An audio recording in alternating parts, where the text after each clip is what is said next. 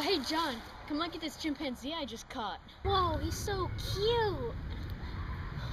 No, he's so cute, right?